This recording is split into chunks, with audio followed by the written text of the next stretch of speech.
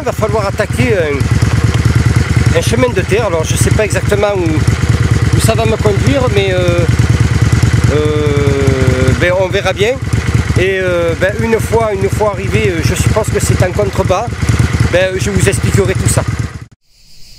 Ben voilà, c'est ici que l'aventure commence. À travers, bien entendu, les écrits, les récits, la filmographie de Marcel Pagnol. Alors nous nous trouvons donc à Pichoris, euh, faisant partie de la commune d'Allo et non loin du pays d'Aubagne. Alors nous sommes ici euh, car euh, pas mal de scènes ont été tournées pour la gloire de mon père et le château de ma mère. Alors je me suis dit finalement après toutes ces années et étant un petit peu de nature curieux, je me suis dit pourquoi pas aller voir ce qu'est devenu ce domaine. Alors pour ce faire, nous n'avons plus qu'à faire une chose, c'est de s'y rendre tout simplement.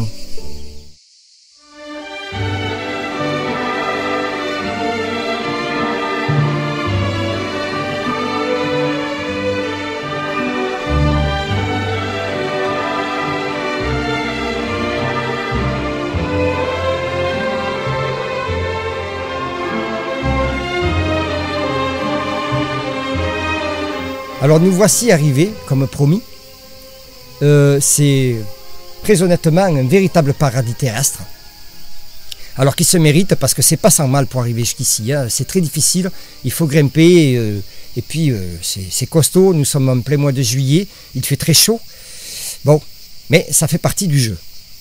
Alors, ce qui est un petit peu dommage par contre, c'est que actuellement et maintenant, tout est clôturé, tout est verrouillé.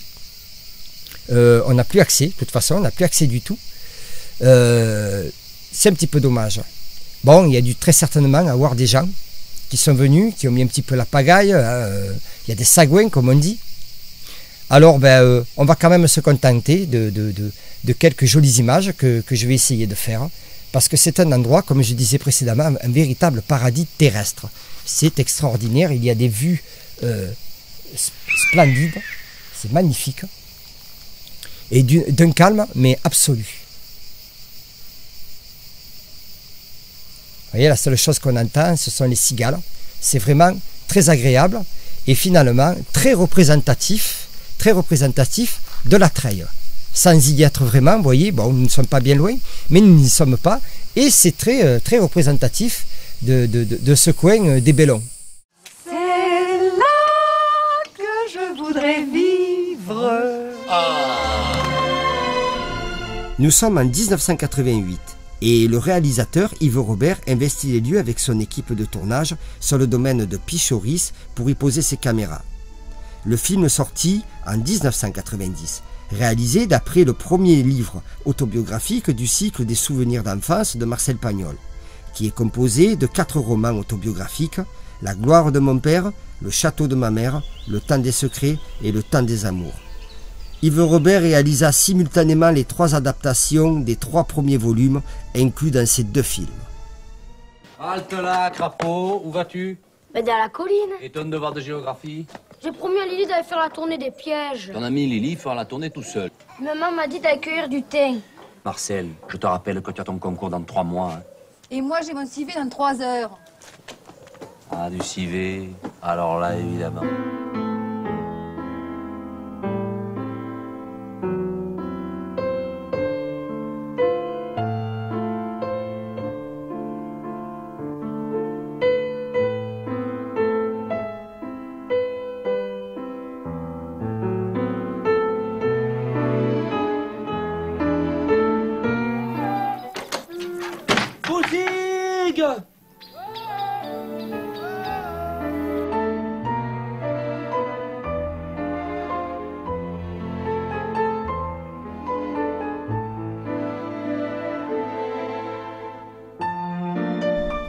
Il eût fallu pas moins de 26 208 heures, soit 629 jours et 9 heures pour réaliser ce premier chapitre. Voilà le temps qu'il m'a fallu pour gravir ces collines en pleine garrigue, à la recherche de ces lieux magiques, mais ô combien camouflés dans ces immenses garrigues. Voici le temps qu'il faut pour saisir ces harmonieux paysages. Voici le temps qu'il faut pour franchir ces rocaillages.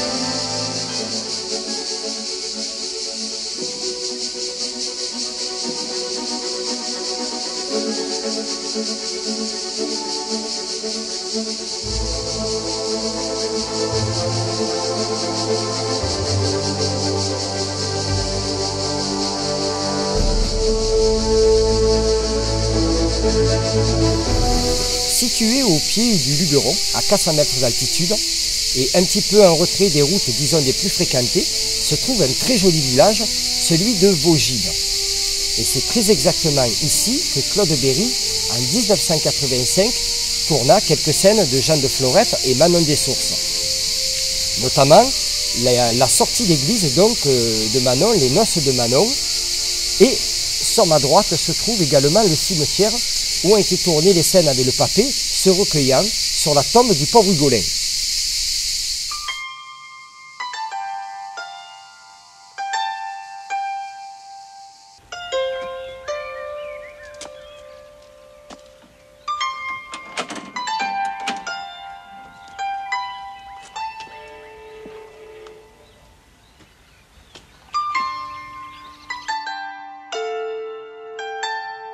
Nous voici donc dans le cimetière. Alors, je vous en avais parlé tout à l'heure. Il s'agit du lieu où euh, la scène a été tournée du pâté se recueillant sur la tombe du Golin. Alors ça n'a pas été facile du tout pour retrouver ce lieu-là, ce, disons cet emplacement, parce que le cimetière, euh, depuis 1986, bien évidemment, il a beaucoup changé. Euh, D'autant plus que c'est un cimetière qui est très très ancien, ça n'aide pas, ça n'arrange rien.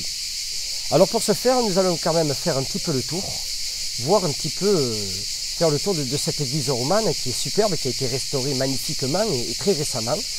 Et euh, parce qu'on voit bien souvent la, façade de ce domaine, on ne voit jamais le derrière. Ben, tout ce qu'on va faire, ben, c'est qu'on va faire le tour et on va aller voir ce qui s'y passe. Avant d'exister sous l'état de roman, Manon des Sources était un scénario écrit par Marcel Pagnol en 1951 et destiné à son épouse Jacqueline, qu'il avait auparavant dirigé dans Naïs en 1945 et La Belle Meunière en 1948. Mais si vous restez ici, Monseigneur sera fâché par vos soupçons. Et sa colère fera du bruit. Fasciné par l'eau, l'auteur cinéaste en fera le thème central de son récit, qui deviendra un film en juin 1952. Dix ans plus tard, Marcel Pagnol décidera d'en faire un roman qu'il baptisera L'eau des collines, et qui sera divisé en deux tomes, Jean de Florette et Manon des Sources. En 1986, comme je vous l'ai dit précédemment, Claude Berry a adapté à son tour Jean de Florette et Manon des Sources. Ces deux films ont eu des scénarios assez différents, ce qui donne à mon avis une autre vision de l'histoire avec des compléments qui donnent quelques rebondissements qui font tout le charme de ces deux films et romans.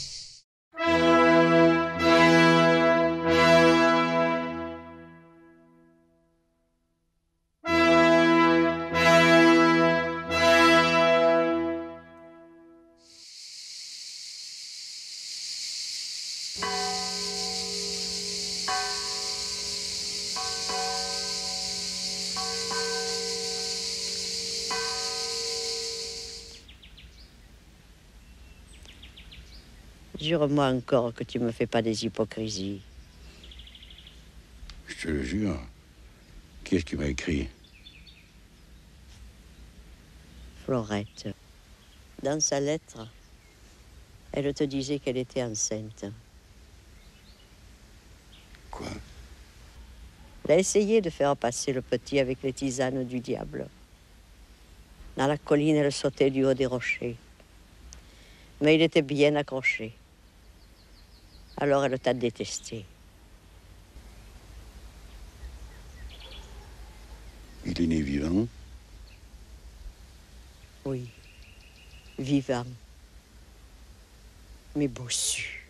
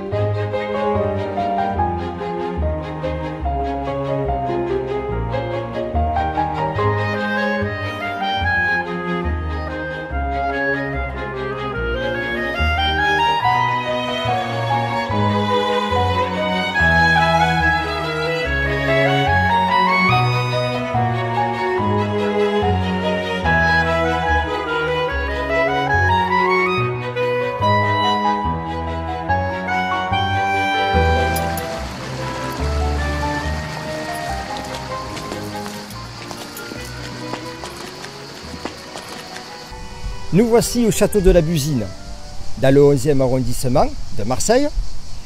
Alors ce château, euh, on lui doit sa célébrité grâce à Marcel Pagnol, qui s'en servit pour évoquer ses souvenirs d'enfance et qui en fut également le propriétaire. Vous allez venir avec moi et nous allons suivre les berges du canal qui traversent en droite ligne de toutes ses propriétés. J'ai trouvé un petit canal, mais voilà, ce n'en est pas un. Enfin, pas vraiment.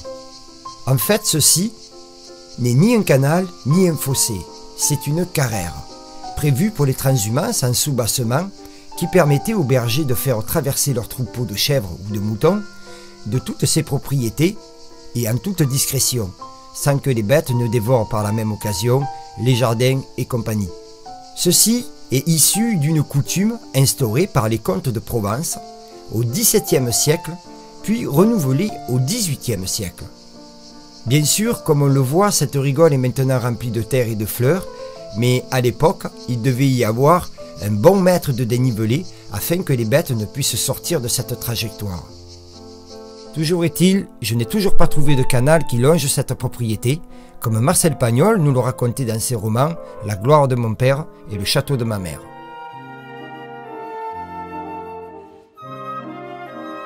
Dans l'autobiographie de Marcel Pagnol, et dans la plupart des biographies existantes, il n'est mentionné nulle part l'existence de son frère aîné, Maurice, qui aurait été conçu cinq mois avant le mariage de ses parents pour naître en avril 1894, et décédé à l'âge de 16 mois le 18 août 1895. Ceci pourrait expliquer certains passages où Marcel parle de la peur panique devant la maternité et de la santé fragile d'Augustine. Quelques 16 années plus tard, Augustine prit froid sous l'arbre situé au milieu de la cour jardin du 51 rue Terrus à Marseille. Prise d'une congestion pulmonaire, elle s'éteindra le 16 juin 1910 à l'âge de 36 ans. Je marchais derrière une voiture noire dont les roues étaient si hautes que je voyais les sabots des chevaux. J'étais vêtu de noir et la main du petit Paul serrait la mienne de toutes ses forces. On emportait notre mère pour toujours. Ici, Londres. Voici. Nous sommes en 1941 et Marcel Pagnol acheta le château de la Busine. Mais voilà, la guerre fait rage partout en Europe et en France depuis maintenant deux ans. Marseille tombe alors sous l'occupation de l'armée allemande. Par ces faits, le château est mis alors sous le coup d'une réquisition de l'armée française en 1942. Joseph, le père de Marcel, résidant au château de la Busine et enseignant à la retraite, donna des cours aux quelques illettrés du régiment français. La défaite venue, la France capitule. Les troupes allemandes prennent Marseille et l'armée française leva le camp et le château devient alors la maison de repos des marins allemands. Pris dans sa lancée, l'instituteur qu'il fut donna également des cours aux Allemands qui souhaitaient apprendre le français. En fin 44, les Allemands prirent la fuite et arriva les forces françaises de l'intérieur, plus connues sous le nom de la FFI. Parmi les maquisards, certains d'entre eux prirent également des cours de lecture et d'écriture durant leur passage au château. Les maquisards partis, arrivèrent les artilleurs sénégalais en grand nombre. Il prit une plus grande salle et mit en place une grande classe et y installa les Sénégalais et leur apprit également à lire et à écrire. Les Sénégalais partirent et arriva à l'infirmerie de la division marocaine et là, je vous le donne à mille et mille, il donna également des cours de français aux soldats marocains. Nous sommes en 1945 et la libération arrive. La division marocaine se retira à son tour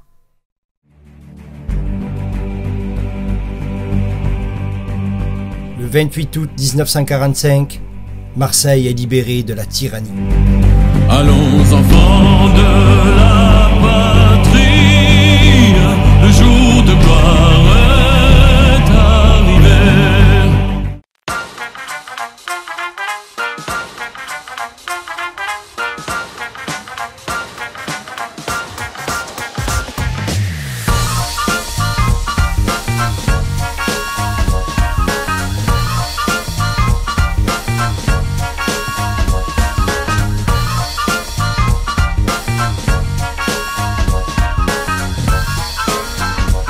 Comme je l'ai dit précédemment, ce château a été racheté par Marcel Pagnol en 1941.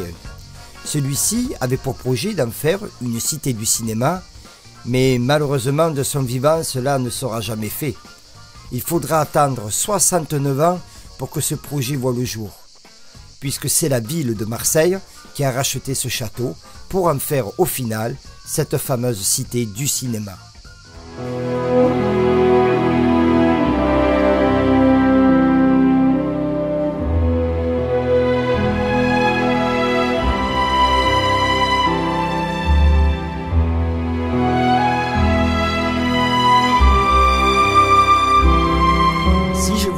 Qui est Pauline Henriette Lanceau, il se trouve tout simplement que c'est Augustine, la mère de Marcel. Alors pourquoi Augustine, c'est-à-dire Pauline Henriette, a changé de prénom? La mère de Pauline Henriette, c'est-à-dire Augustine, se prénommait déjà Pauline. Elle avait également un fils prénommé Henri. La volonté du changement de prénom de la future Augustine peut donc se comprendre. Ni Pauline comme sa mère, ni Henriette comme son frère Henri, qui donne Henriette au féminin. Je ne fus pas convaincu par, par cette analyse. Et puis pourquoi, après presque 4 ans de sa jeune vie, elle aurait souhaité changer de prénom et avoir fait le choix de ce prénom-là? Après de longues recherches, je compris enfin le choix de la petite Augustine et certainement de sa maman. Elle perdit son père à l'âge de 4 ans qui portait le prénom d'Auguste Jean-Marie Lanceau. Il y avait depuis des années une très jeune femme brune qui serrait toujours sur son cœur fragile les roses rouges du roi. Elle entendait les cris du garde et le souffle rauque du chien. Blême, tremblante et pour jamais inconsolable, elle ne savait pas qu'elle était chez son fils.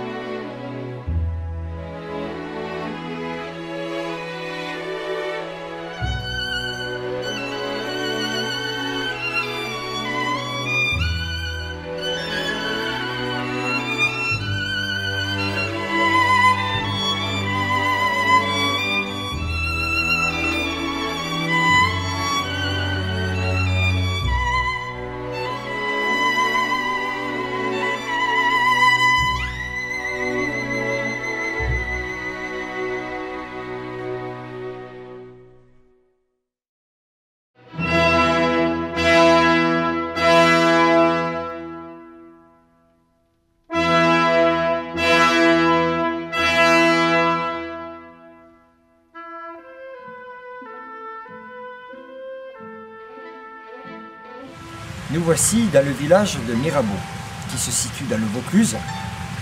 Et ce village a servi pour tourner Jean de Florette et Manon des Sources.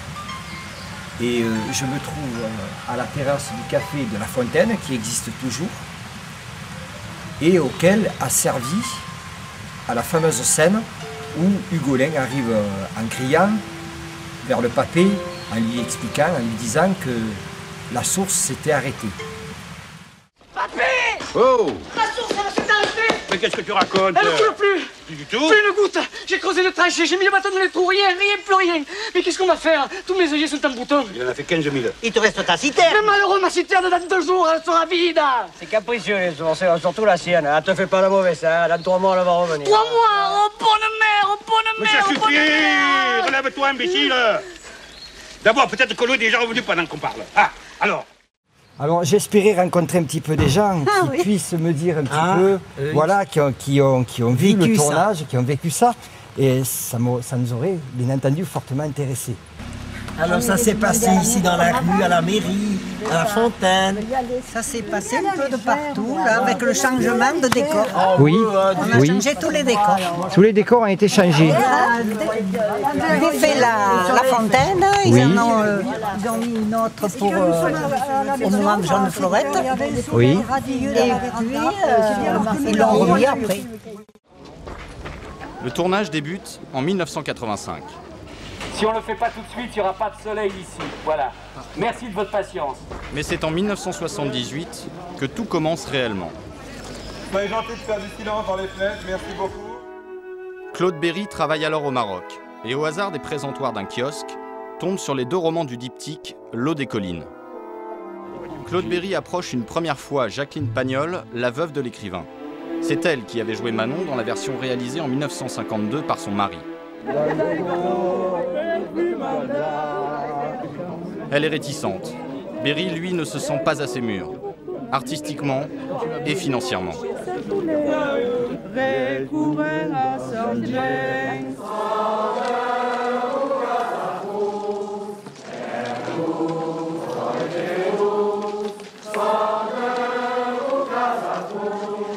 L'épaule gauche ou droite, je m'en fous. Mais démerdez-vous pour que votre tête ne soit pas dans l'axe du tuyau. Le paisible village de Mirabeau est investi par une équipe d'une centaine de personnes. S'il vous plaît, messieurs, dames, reculer derrière? Un décor exigeant, l'action se passe dans les années 20-30. Il faut enterrer des kilomètres de fils électriques, camoufler le macadam et le ciment sous des tombereaux de terre, construire des façades en trompe-l'œil, aménager des voies d'accès pour les équipes de tournage, planter des oliviers tricentenaires, dompter et transformer cette âpre garrigue. Sous l'œil médusé des touristes venus en masse et des habitants. Alors, tu es pour ou contre le film, toi? Moi, je suis pour, parce que justement, ça me donne une distraction. Et voilà. Si vous aviez refusé le cinéma à Mirabeau, vous auriez fait une... ça serait été une catastrophe. Voilà, vous voyez, alors le, le bas de la façade est, est tout faux. L'escalier lui-même, l'escalier lui-même est entièrement, a été entièrement fait par les décorateurs. C'est tout du faux par conséquent. Polystyrène sur du contreplaqué. Et là, c'est une deuxième porte qui occulte pratiquement entièrement ma porte de la cuisine.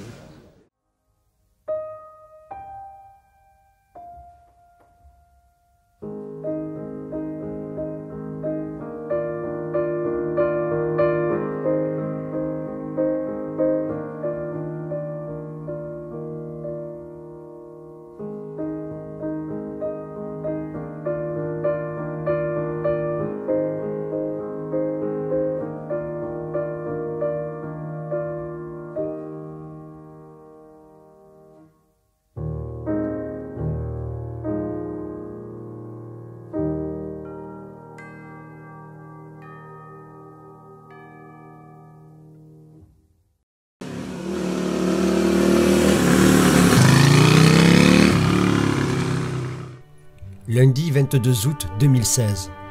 Je me trouve dans les hauteurs de Marseille, du 11e arrondissement, non loin du château de la Busine par ailleurs, et également à l'extrémité d'une ligne de collines avancée du massif du Garlaban.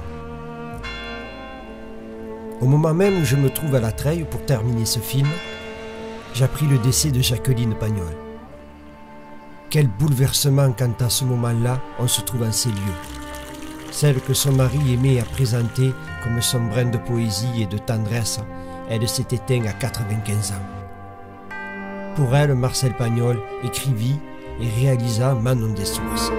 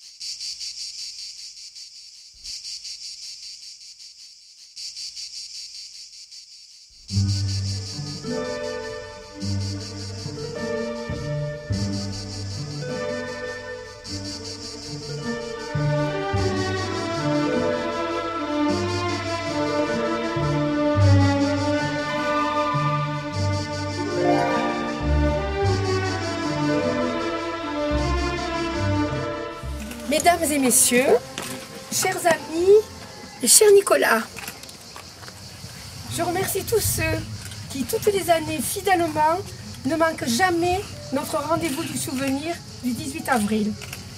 Et cette année, je salue tous ceux qui sont venus de loin. Nous commémorons aujourd'hui le 41e anniversaire de la disparition de Marcel Pagnol. Je voudrais me souvenir tout particulièrement du jour de ses obsèques, près de 40 000 personnes étaient massées tout le long de la route qui mène au village. Les voitures étaient garées jusqu'à la Valentine. La Provence et Marseille avaient été frappées de stupeur à l'annonce de sa mort. Et les Marseillais étaient présents pour l'accompagner ici, dans sa dernière demeure. Mais mieux que de parler, laissons-le parler à travers ses personnages. J'ai choisi un morceau de César. À propos de cette scène que je vais vous citer, Karine Anne écrit dans son ouvrage Marcel Pagnol, Un autre regard, à travers un dialogue naïf et drôle, Pagnol énonce ici les interrogations existentielles fondamentales de l'humanité et effleure même l'éternelle question des grandes religions monothéistes. Cet échange est presque fascinant tant il soulève tout en légèreté des problèmes graves, voire un débat qui, depuis que le monde est monde, fut à l'origine de millions de morts. Alors je vais faire parler César. J'espère que je vais y mettre tout le temps. Je veux dire que je connais des musulmans, des hindous, des chinois, des nègres. Leur bon Dieu, ce n'est pas le même. Ils ne font pas comme nous. Nous, nous avons des péchés, que chez eux, c'est une bonne action, et vice-versa. Peut-être qu'ils ont tort. Remarquez bien, seulement ils sont des millions et des milliards. S'ils avaient raison, Monsieur Brun, Monsieur Brun, il est certain que la question peut se poser. César, le pauvre Honoré est tout préparé, bien au goût du bon Dieu d'Alzéar, et si en arrivant au coin d'un nuage, il se trouve en face d'un bon Dieu à qui on ne l'a jamais présenté, un bon Dieu noir, ou jaune, ou rouge, ou un de ces bons dieux habillés en guignol, comme on voit chez l'antiquaire, ou celui qui a le gros ventre, ou bien celui qui a autant de bras qu'une esquinade. Le pauvre Panis, qu'est-ce qu'il va leur dire En quelle langue Avec quel geste Tu te vois, toi, déjà fatigué par ta mort et tout vertigineux de ton voyage, en train de t'expliquer avec un Dieu qui ne te comprend pas Et tu as beau faire des prières, il te dit quoi Comment Qu'est-ce que vous dites Et il te le dit en chinois. Escartefigue, situation terrible. Là, tu me donnes le grand frisson. Honorine en colère. Taisez-vous, grand mécréant. Et la Sainte Bible, alors Et tous, ces, tous ces mensonges Et les évangiles Vous n'avez pas honte de dire des choses pareilles devant un enfant de cœur Claudine, si vous alliez un peu plus souvent à l'église, au lieu de boire tant de pastis, vous sauriez qu'il y a un seul Dieu, et ce Dieu, c'est le nôtre. César, oui, évidemment. Le bon, c'est le nôtre. Mais alors, sur toute la terre, il y a beaucoup de, gens qui sont couillonnés. Ça me fait de la peine pour eux, n'est-ce pas, Monsieur Brun? Voilà.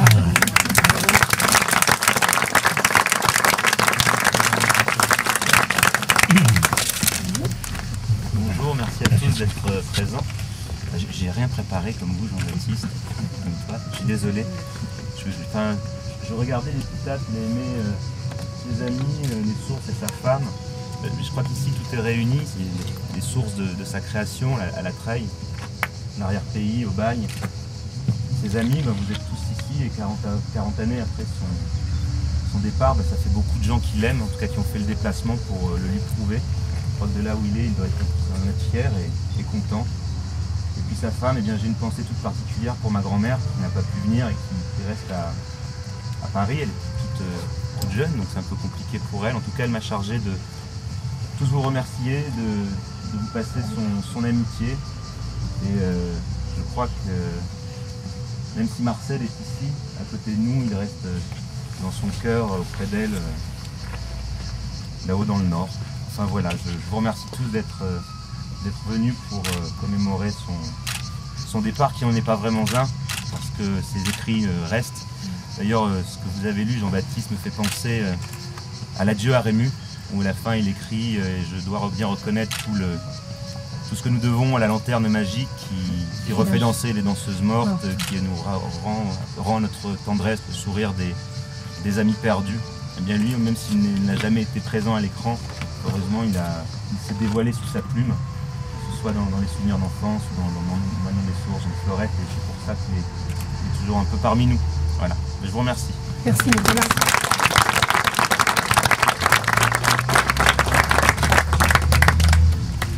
M'a dit que c'était la première fois qu'un maire d'Aubagne euh, assistait à ces commémorations. Écoutez, j'en suis tout simplement euh, fier, heureux et euh, je suis très honoré d'être à vos côtés aujourd'hui parce que je crois que la mémoire de Pagnol, c'est Aubagne, oh là m'en au-dessus, au-delà, Marseille, mais je crois que c'est intemporel d'une part et puis cosmique d'autre part. Donc voilà, c'est les mots qui me viennent à l'esprit aujourd'hui et encore une fois, je pense que on doit honorer la mémoire de Marcel Pagnol parce que ça a très bien été dit euh, tout à l'heure. Au-delà de, la partie euh, de l'écrivain, euh, du cinéma, de, l'homme de cinéma, il y a aussi l'intemporalité qui, est derrière ça et je crois que c'est ce qui est important pour tout le monde. Merci.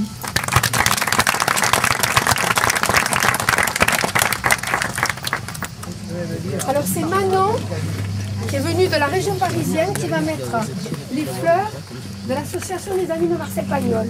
Voilà, merci Manon. Merci beaucoup. hein.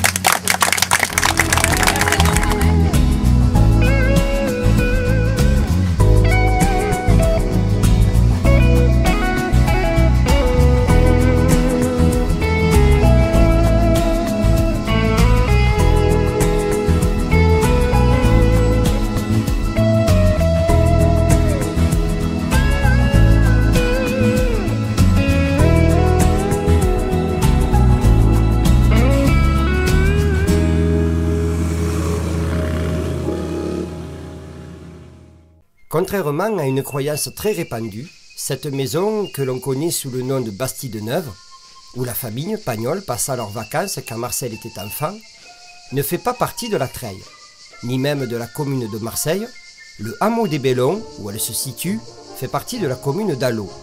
Et c'est ici donc que Marcel passa ses plus belles années d'enfance et qui ont fortement influencé ses écrits quelques années plus tard.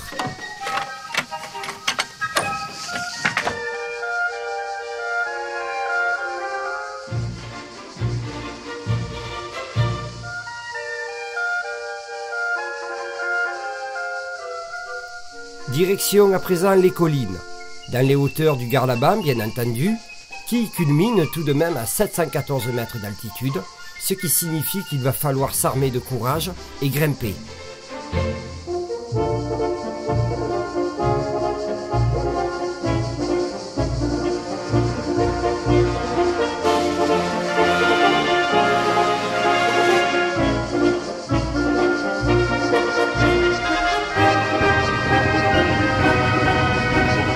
Marcel Pagnol disait dans son livre La gloire de mon père Je suis né dans la ville d'Aubagne sous le Garlaban couronné de chèvres au temps des derniers chevriers. Ce n'est pas une montagne, mais ce n'est plus une colline, c'est Garlaban.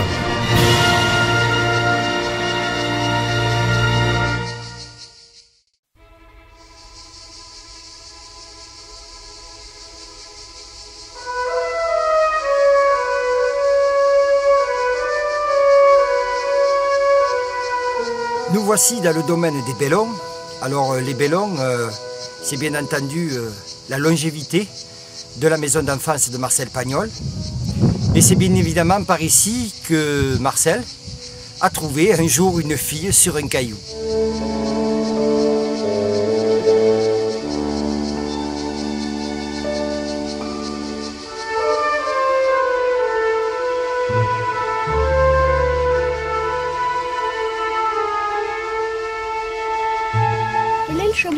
Vélo Je t'ai perdu Oui. Mais ce n'est pas une raison pour me tutoyer. Je ne suis pas une paysanne. Sur une pierre, j'ai trouvé une fille. Morte Oh non, c'était une fille perdue. Et où habite-t-elle? À la longue maison de Bellon. J'ai vu sa mère. Elle est superbe. Voyez-vous ça? Et la fille?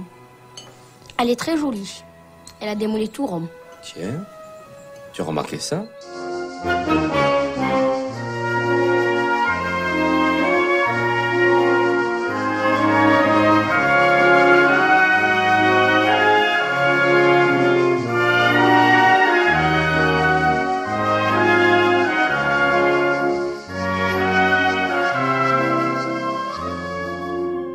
Le nom Garlaban semble trouver son origine dans le sens des deux mots qui le composent. Gardia qui signifie poste d'observation ou lieu de garde pour désigner la vigie qui existait au sommet du Garlaban. Et pour le restant du mot, c'est-à-dire Laban, cela veut dire grotte en provençal.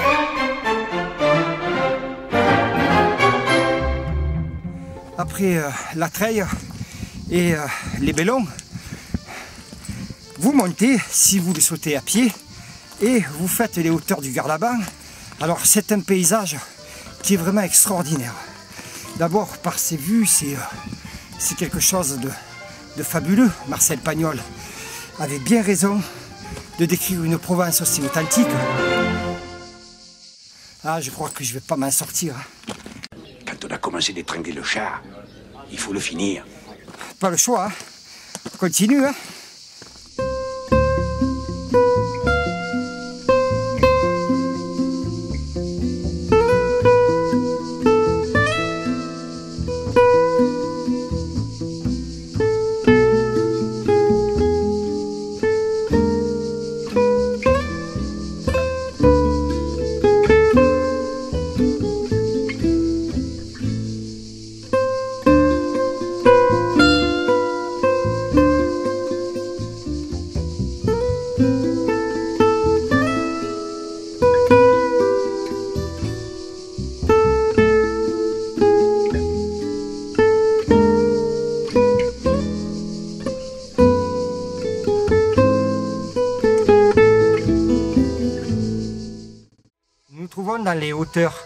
Dans les hauteurs, du Garlaban, euh, à peu près à 5 km des Bellons, euh, qui sont précédés bien entendu par la treille.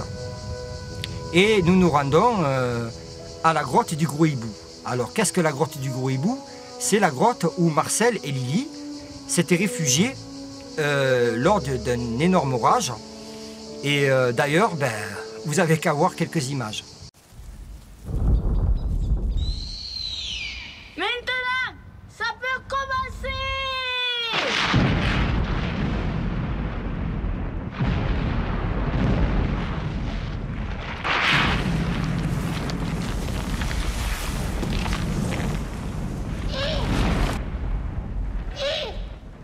C'est un vampire Non, c'est le grand-duc.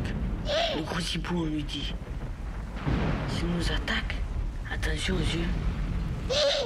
Pardon. Il vaut mieux être mouillé qu'aveugle.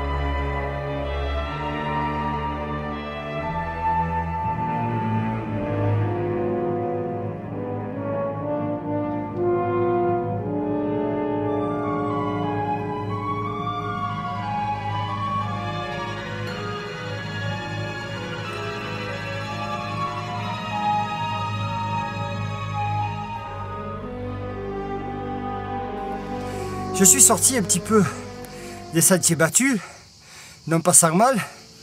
Et euh, euh, pour pas dire que je suis un petit peu paumé parce que j'arrive pas à retrouver, euh, à reprendre le chemin, initial.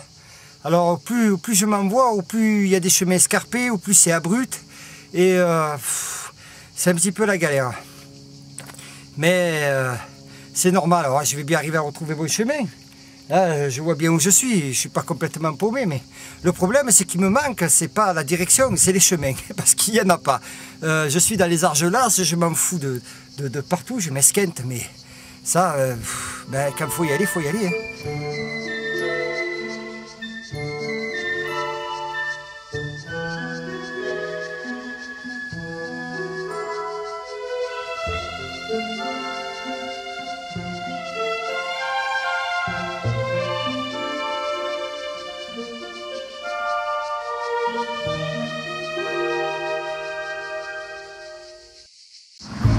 Je me suis arrêté, euh, je m'arrête un moment parce que je suis fatigué puis, j'ai très soif.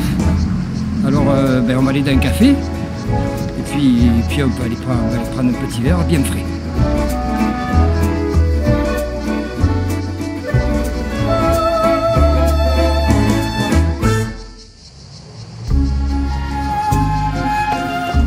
Alors une chose certaine, c'est que pour bien faire, il ne faudrait jamais couper la caméra. Parce que, non pas que j'ai loupé quelque chose d'important, mais euh, j'ai loupé oui, un petit peu mon arrivée à Café des Quatre Saisons. Parce que je suis arrivé là par hasard, et il se trouve que c'est le, que c'est le bar euh, où s'arrêtait euh, Marcel avec ses parents, son frère et sa sœur et tout ça. Mon Dieu, c'est pas possible Et s'arrêtait ici avant de monter à la treille.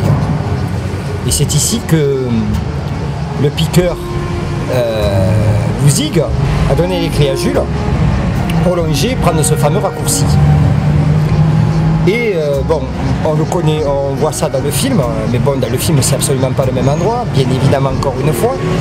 Mais euh, là, euh, je me trouve au, au vrai lieu, et c'est plutôt sympa parce que je suis arrivé ici totalement par hasard.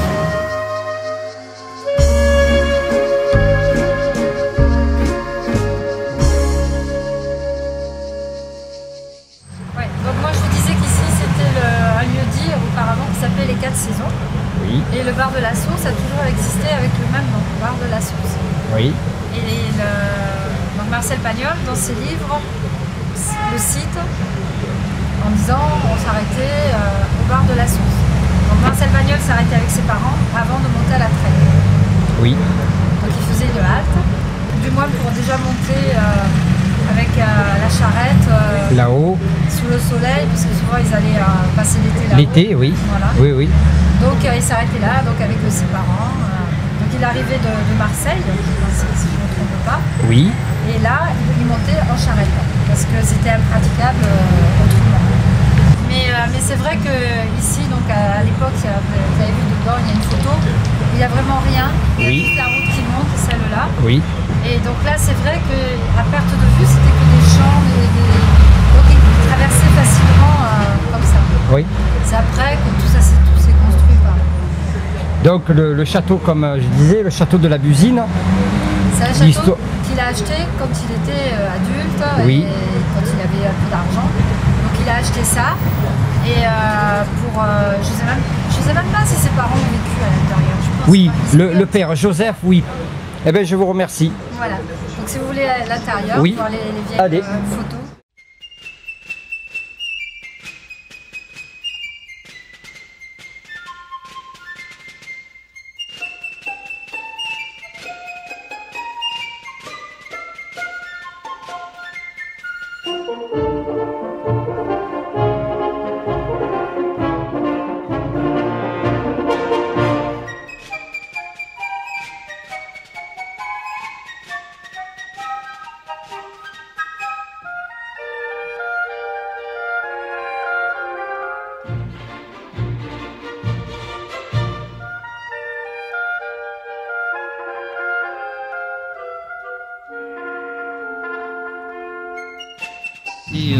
Vraiment un extraordinaire hasard parce que, en fait, euh, je ne pensais pas m'arrêter là du tout. J'aurais même jamais même, même pas y pensé. Je n'aurais pas pensé à, à m'arrêter euh, ici. Et puis voilà, chemin faisant, hein, comme quoi, des fois, euh, avec un petit peu de chance, on arrive à faire des choses qui sont, qui sont relativement bien.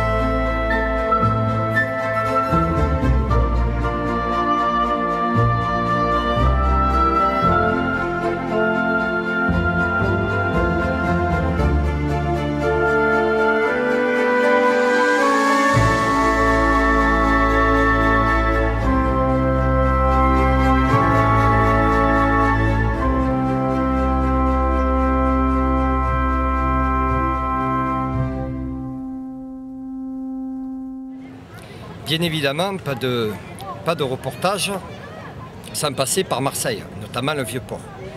Euh, c'est ce qu'on va faire, il y a beaucoup de monde visiblement.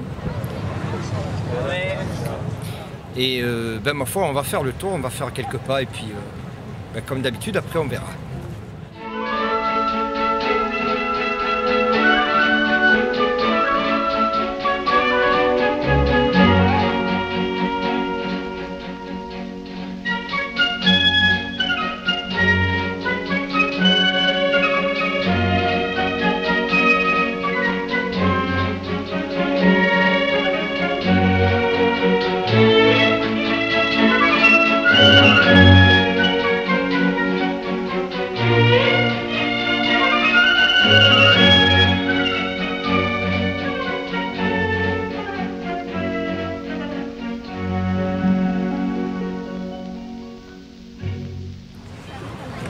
Alors du même coup, bien entendu, on va faire le tour, le tour du, port et on, va se rendre euh, au bar de la Marine. Bien entendu, le bar de la Marine, c'est euh, un lieu mythique euh, vis-à-vis de, la, trilogie de Pagnol, Marius, Fanny, César.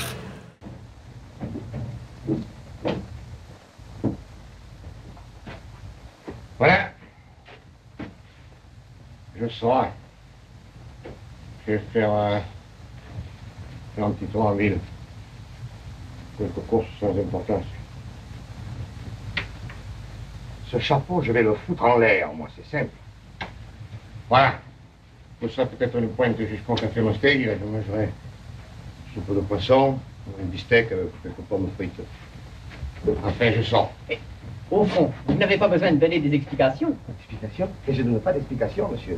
Ça serait malheureux si à mon âge, il fallait que je donne des explications parce que je sors. Je dis simplement que je vais au café et manger une soupe de poisson. C'est pas une explication, c'est un renseignement, voilà. C'est-à-dire que si on a besoin de vous, on n'aura qu'à aller vous demander au café de M. Mostegui. Non, non, monsieur, on n'a pas besoin de venir me demander au café de monsieur Mostegui. Non, non, non, pour- pourquoi, d'abord, pourquoi venez me demander au café de monsieur Mostegui? Pourquoi venez me demander au café de monsieur Mostegui? Vous avez quelque chose à me dire, dites-le moi tout de suite. alors, Mais- mais vous- mais vous dites- Mais je dis rien, monsieur, c'est vous qui dites. Moi, je dis, moi, je dis, moi, je... moi- Enfin, moi, je dis que je n'ai rien à dire. Voilà, que si ça me fait plaisir de sortir, je n'ai pas besoin de demander la permission à un lyonnais. Puis voilà. Qui vous dit le contraire? Mais enfin, qu'est-ce que ça veut dire, cette inquisition de nom de Dieu, de nom de Dieu, tout de même? Si j'avais 86 ans, je comprenais qu'on s'occupe de moi, qu'on me surveille, qu'on m'espionne. Mais enfin, j'ai encore la tête à moi, on peut me laisser sortir seul, je tomberai pas dans le port. Et dis, papa, personne ne te dit rien, tu as envie de faire une petite promenade, c'est naturel. hein. Voilà le mot, c'est naturel. Mon fils l'a dit, c'est naturel. C'est mon fils qui l'a dit le mot, c'est naturel. Je sors naturellement. Mais c'est toujours ceux qui n'ont rien à dire qui se mettent au milieu des choses qui ne regardent pas. Eh bien, ça, c'est la suspicion. Quoi Qu'est-ce qu'il y a? Je te dis que c'est la suspicion, là. Et moi, je veux pas être suspecté par un lyonnais.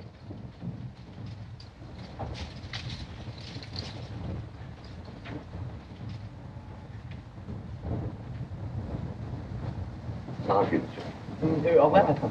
Ah, je sors, petit. Dis donc, euh, euh, si la voiture de Picompasse, tu prendras 12 bouteilles, ça fera 240 francs. Tu te rappelleras, hein Hein? 12 bouteilles, je peux te le rappeler, hein? Non, il n'y a pas besoin de me dire 20 fois les choses d'ici. La voiture depuis qu'on passe, je prendrai 240 bouteilles. Oh, Sainte Dieu, Sainte Dieu. Mais qu'est-ce que je vous ai fait, moi, pour m'avoir donné un enfant idiot comme ça? Mais c'est pas possible, c'est pas moi qui t'ai mis au monde. Si la voiture de Pitron passe, tu prendras 12 bouteilles. Si la- tu prendras, tu prendras rien, je téléphonerai. Mon pauvre enfant. Qu'est-ce que ton pauvre enfant dit? Quand on fera danser les couillons, on ne te sera pas à l'orchestre. Bonjour, monsieur. On ne peut pas faire un discours sur la tombe d'un père, d'un frère ou d'un fils. Tu étais pour moi les trois à la fois. Je ne parlerai pas sur ta tombe. D'ailleurs, je n'ai jamais su parler et c'était Rému qui parlait pour moi. Ta grande et pathétique voix s'est tue et mon chagrin fait mon silence. Jean Gabin a croisé tes mains sur ta poitrine. J'ai pieusement noué le papillon de ta cravate et tous ceux de notre métier sont venus te saluer. Longuement, nous avons médité devant cette lourde statue de toi-même. Nous avons découvert ce masque si noble que la vie nous avait caché. Pour la première fois, tu ne riais pas, tu ne criais pas, tu ne haussais pas tes larges épaules. Et pourtant, tu n'avais jamais tenu autant de place, et cette présence de marbre nous écrasait par ton absence. Alors nous avons su qui tu étais. Des journalistes, des cinéastes, des comédiens arrivés par-dessus les frontières.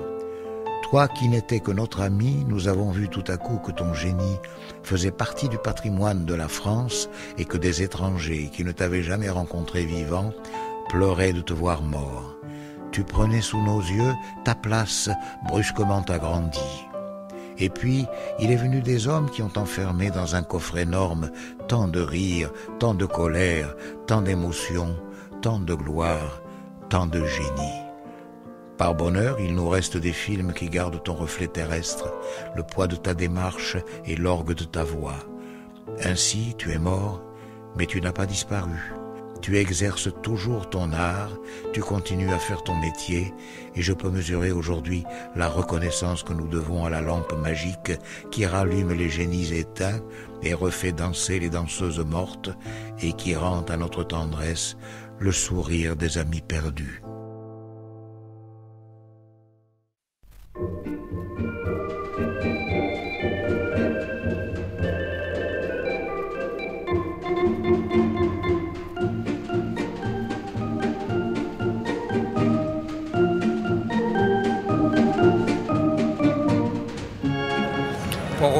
Euh, sur Marcel Pagnol, il est évident que l'on passe par Marseille. Euh, même si euh, on a toujours été visiblement dans le coin, près de la Treille et compagnie. Et ben aujourd'hui, on se trouve ici, ça a quand même bien changé. Ça a vachement même changé. Il y a même le métro, le métro à la sortie directe maintenant sur le port. Une énorme roue. Alors je me demande comment va être le reste parce que ça a beaucoup beaucoup changé.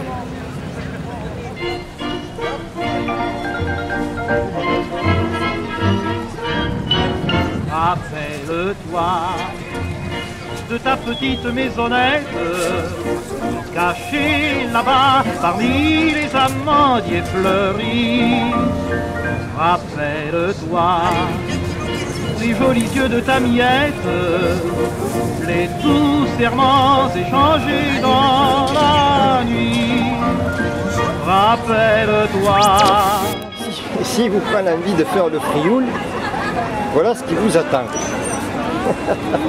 à l'heure exquise où meurt le jour. Rappelle-toi, quand tu disais jolie madone, c'est toi. Il y en a qui a l'air content. Marseille, c'est d'un bateau qui part vers Ceylan ou Dakar. Marseille, c'est d'un bateau qui vient, passager clandestin. Marseille. Je l'ai visiblement trouvé. Voilà. Bon, mais en même temps, c'est pas très difficile à trouver, hein, c'est bien qu'il est sur le vieux port. hein.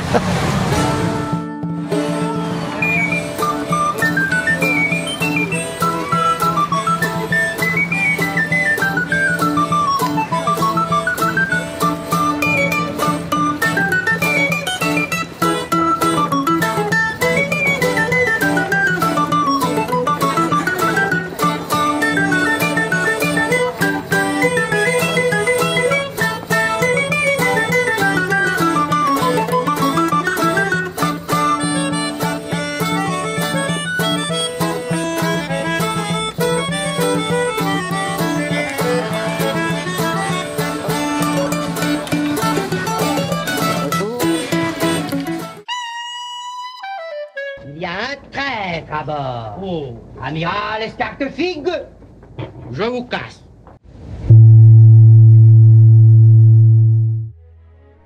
À la même époque où a été tourné le premier film, c'est-à-dire Marius, il existait réellement un bar de la marine, dans le quartier du Panier, de l'autre côté du vieux port, sans que l'on sache si Pagnol y attachait quelques réels souvenirs. Il fut quelques années plus tard dynamité par l'armée allemande.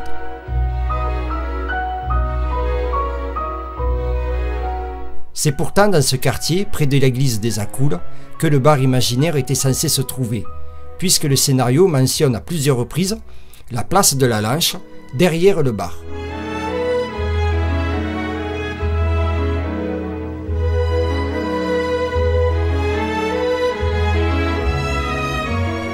Or, dans les films de la trilogie, alors que la plupart des scènes intérieures ont été tournées dans les studios de Joinville, il semble que les scènes extérieures aient été tournées à peu près à l'emplacement de l'actuel bar de la Marine, sur le vieux port, c'est-à-dire sur la gauche de la place aux huiles quand on regarde le port depuis la porte du café. C'est en 1932 sur la Canebière que nous retrouvons les clips de Fanny, c'est-à-dire Rému, Pagnol, Orane de Mazis et Allégré. C'est également sur le tournage de Fanny qu'est réalisé le tout premier travelling voiture du cinéma français.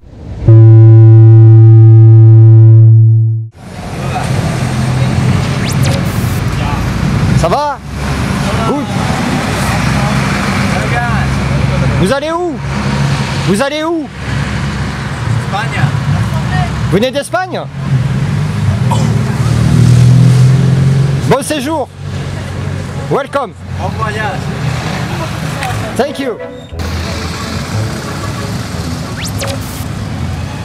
ben, Au final, ce bar de la marine est super sympa. Les gens ils sont, euh, ils sont euh, relativement très accueillants. Bon, on me dirait en même temps c'est un coin touristique. hein, euh, plus moi qui arrive avec des caméras, euh, je pense pas qu'ils auraient pu faire autrement. Mais euh, ça, a été quand même, ça a été quand même assez sympa. Ça a été c'est un, un lieu très sympathique et puis, et puis qui est très joli et puis qui est resté, qui est resté dans cette atmosphère-là de, de Marius, Fanny et César. C'est resté vraiment dans cette atmosphère et c'est plutôt plaisant. Il y a tellement de monde, maintenant c'est devenu une grande place ce port. On se croirait sur la place Jamal Fna. C'est plutôt pittoresque. C'est plutôt rigolo.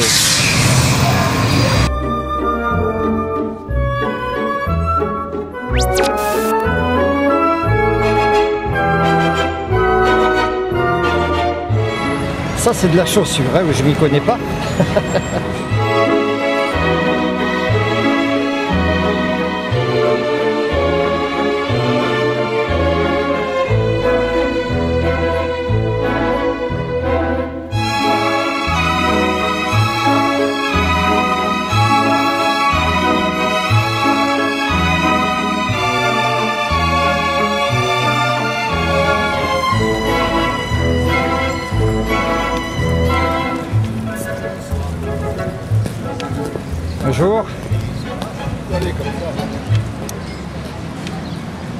Je, je termine mon reportage sur Marcel Pagnol. Et euh, C'est le gars qui passe à la télé là. oui, euh, ça c'est Antoine Maximi. Ça c'est j'irai dormir chez vous. Non, moi je vais dormir chez personne. non, non, moi je termine mon reportage, je de me rendre au bar de la marine. C'est normal de passer par là. hein. Ici Ah, je suis pas loin, je suis de Saint-Chamas. Ah voilà, Ouais, ouais, ouais. Ouais, et puis mon piston, il est mamini, il est né ici à Marseille. Et puis là, là bon, mais je faisais un petit tour. C'est un truc euh, perso que vous faites euh, Non, c'est un long métrage. Et vous êtes dans- de, Ma- de Marseille Ouais, depuis toujours quoi. Ouais. Ça, ça a changé comment finalement ces derniers temps ici? Beaucoup. Moi ça fait longtemps que je, je, je passe pas mes journées un petit peu au centre-ville, je trouve qu'il y a de plus en plus de, de touristes. Eh oui, ils font, ils font tout pour visiblement, non? Apparemment, ouais, ça s'embellit un petit peu, il y a des, des constructions, des, des progrès qui se font. c'est assez sympa de voir Marseille comme ça. Oui, Ah oui, ça fait du bien.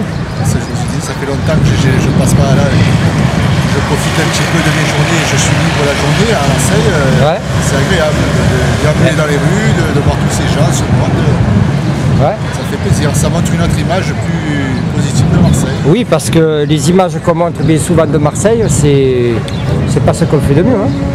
Eh ben, en tout cas, merci. Et Merci à vous, bonne continuation. Merci. Allez, à une prochaine. Merci, au revoir. Alors nous nous trouvons à Château-Renard, dans les Bouches-du-Rhône, à côté de Ribou, qui est euh, non loin de Cuges-les-Pins. Voilà, pour vous situer à peu près euh, le lieu.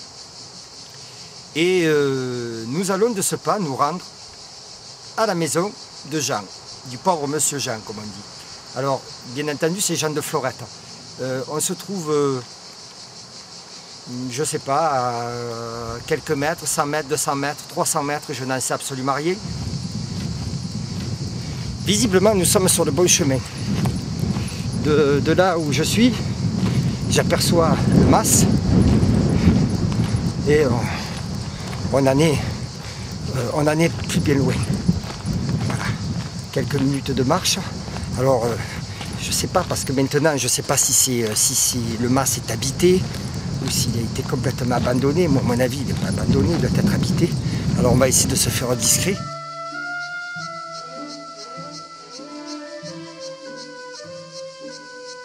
Ce mas est situé à proximité du massif de la Sainte-Baume.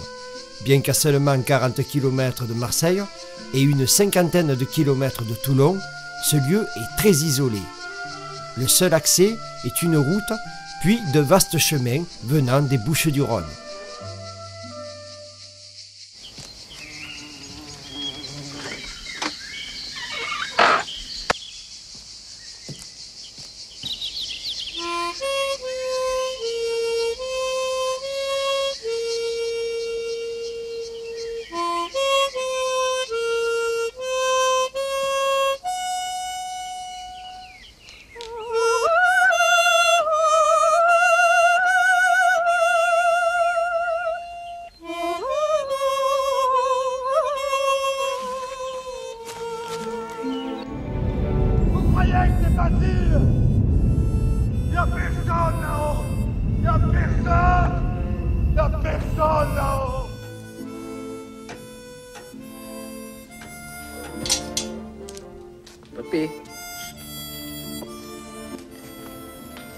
D'arrêter la pendule dans la maison de Monsieur Jean.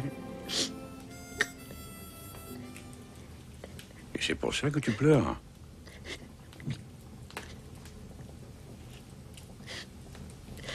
Et c'est pas moi qui pleure. C'est mes yeux.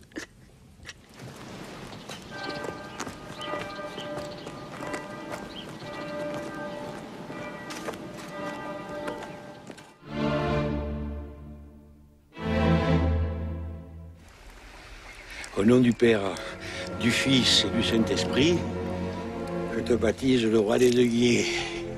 C'est à Paris que Jacqueline Pagnol et son beau-frère René Pagnol conseillent à Claude Berry de se rendre à Aubagne, avec pour guide Georges Berny, afin de trouver des lieux de tournage pour ses films. Il se rendit dans les collines du Garlaban et sur les lieux où Marcel Pagnol avait tourné Manon des Sources en 1952. Je t'ai vu quand tu te baignais dans les flaques de la pluie. Tu avais 13 ans, tu étais toute nue. Je suis parti en courant pour pas faire un crime.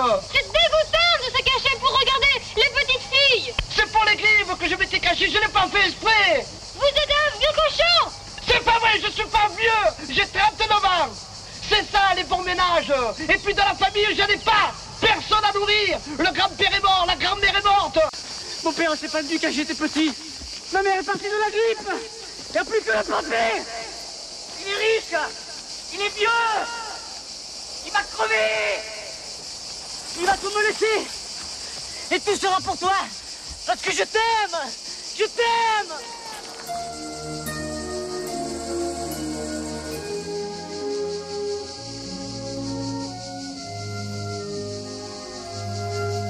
Si tu veux, tu peux nous rendre l'eau.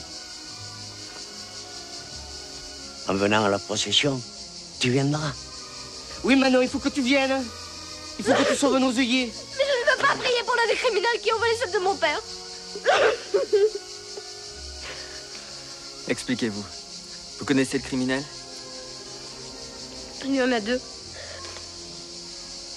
Non Non, tout ça, c'est de ta faute J'ai tout perdu à cause de toi Il avait su Il avait su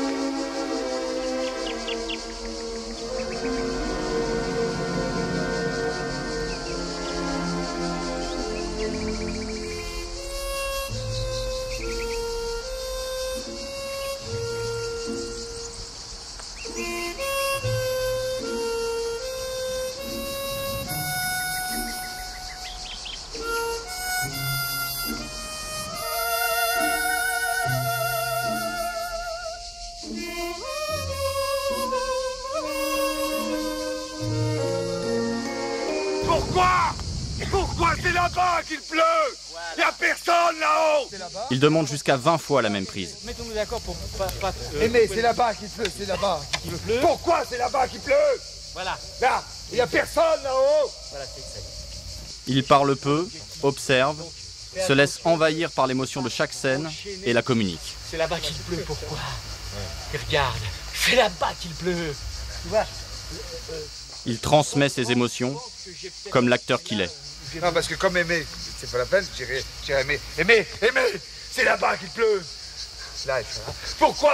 Là, je te ferai un temps euh, de sociétaire. On en pourrait en faire une maintenant. Alors, alors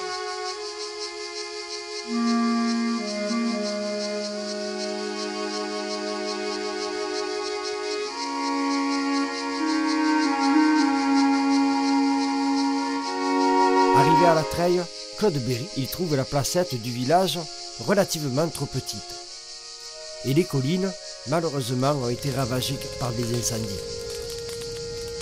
Dans le Garlaban, c'est en 1979 et en 1983 que plus de 4500 hectares de pinèdes sont partis en fumée. Georges Berny, guide ô combien précieux, a alors une idée, celle de conduire Claude Berry à une quinzaine de kilomètres d'Aubagne, dans les collines de la commune de Ribou. Le réalisateur est tout de suite fasciné par la beauté sauvage des collines de la Sainte-Baume, avec ses espaces encore boisés, et il décide d'y réaliser plusieurs scènes de Jean de Florette et Manon des Sources.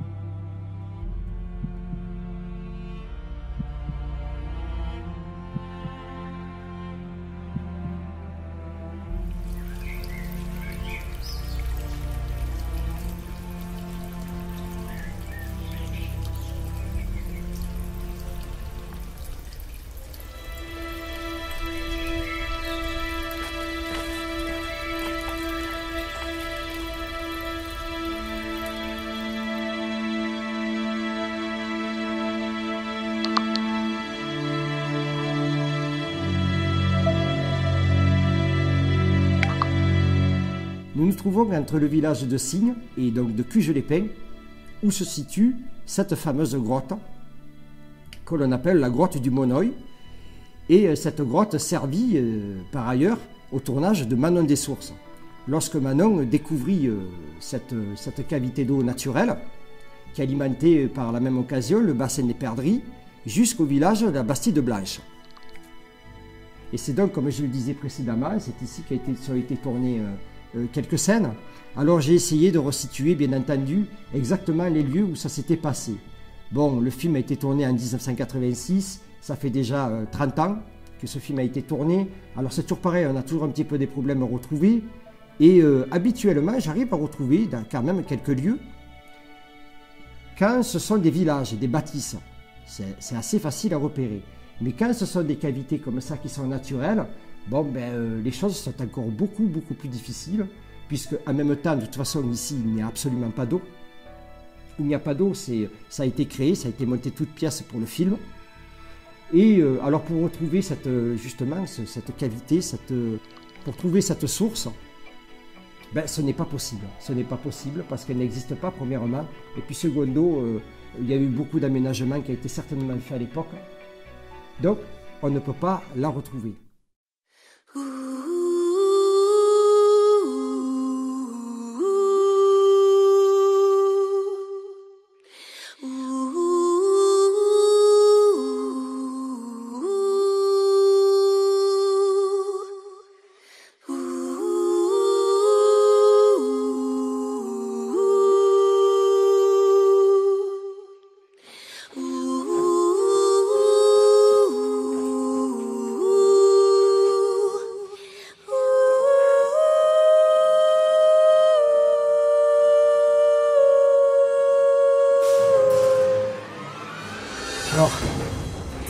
grotte est, est relativement profonde. Alors, je ne sais pas si on voit bien avec la caméra.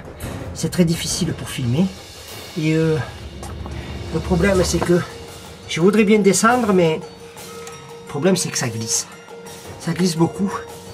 Et euh, j'ai pas envie de me casser la gueule parce que je suis tout seul. Si nous étions deux, euh, soit, mais seul, je ne peux pas me prendre de risque si je vais me casser une jambe, quoi que ce soit. Je n'aurai même pas de quoi remonter. Et puis, euh, et comme ici, il passe vraiment pas grand monde, non, je ne vais pas tenter le coup.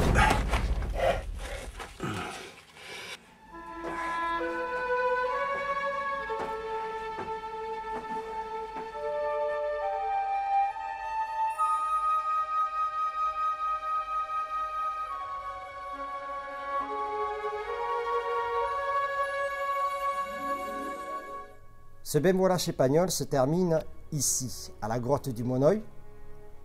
Alors j'espère que vous aurez pris plaisir, autant que moi, euh, que j'ai pu prendre de, plaisir à, tourner et à réaliser ce documentaire euh, ou ce, reportage. Je ne sais pas l'appellation exacte qu'on pourrait lui donner. Euh, dans tous les cas, ça m'a pris pas mal de temps, ça m'a pris plus de trois années. c'est difficile, c'est relativement difficile tout seul parce que les caméras Personne n'est là pour les diriger, je suis seul. Mais c'est ce qui fait, à mon humble avis, euh, tout le charme de ce reportage. Alors je vous dis euh, pour ma part, à très bientôt. Et comme à la coutume, à très bientôt où Je ne sais pas, mais de toute façon j'y serai. Allez, je vous dis à bientôt. Portez-vous bien. Ciao